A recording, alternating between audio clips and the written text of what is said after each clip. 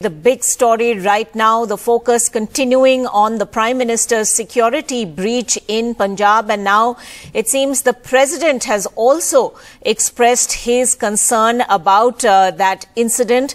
Government sources indicating that uh, the President has also asked questions about just what happened in Punjab. This on a day when uh, the Punjab uh, government ordered a high level probe and the Supreme Court too is going to hear a plea seeking a probe into that breach tomorrow.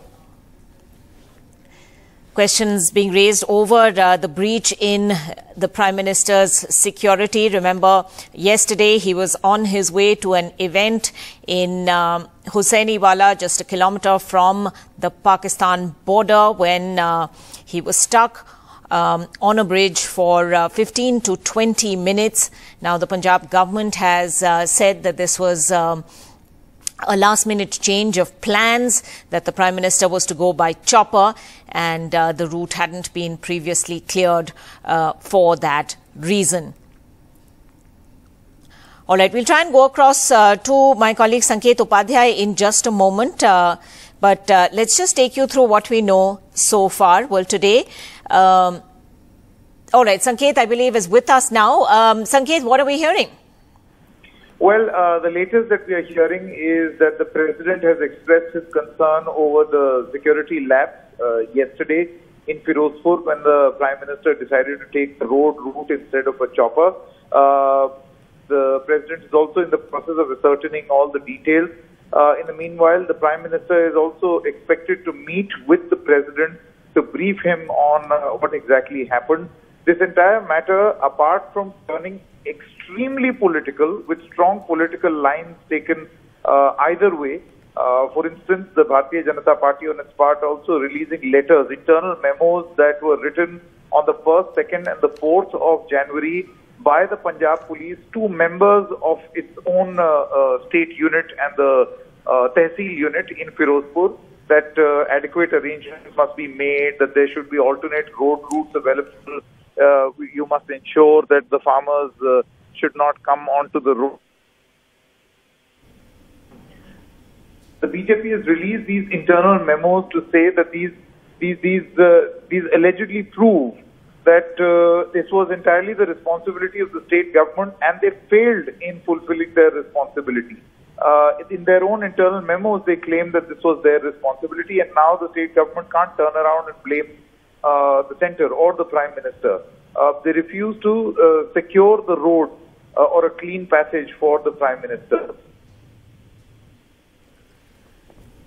Right, uh, Sanket, uh, you know, let's just go over this once again. Uh, uh yes, uh, you, you, keep uh, dropping out, so we're, we're having some issues with your audio. Let me just try and recap. So, President Ramnath Kovind expressing concern uh, on the security breach during the Prime Minister's Punjab visit. Um, uh, can we also confirm that the Prime Minister is going to be meeting the President shortly?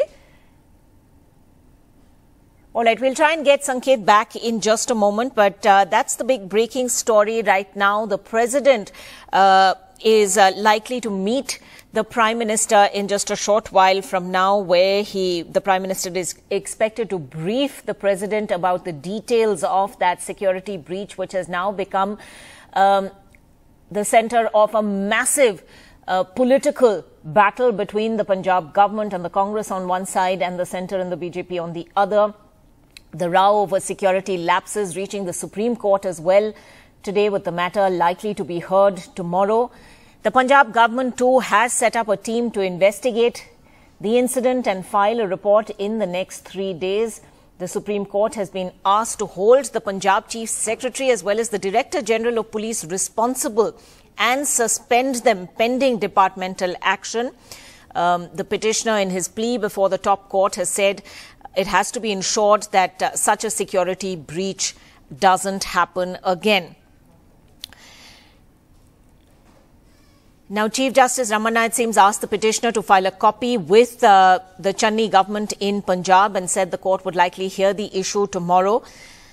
The Punjab government, in the meantime, has formed a two-member panel. Justice Mehtab Gill, a retired judge, and Anurag Verma, the principal secretary of the Department of Home Affairs and Justice, um, are expected to submit a report on that probe in three days. Let's just remind you of what happened yesterday. Prime Minister Modi was on his way to Firozpur for an election rally. He was stopped for 20 minutes on that flyover that you see on your screens. He was traveling 100 kilometers by road from Bhatinda to the venue of that rally after bad weather grounded his helicopter. His convoy was then blocked by protesting farmers just about 10 kilometers or so from the venue.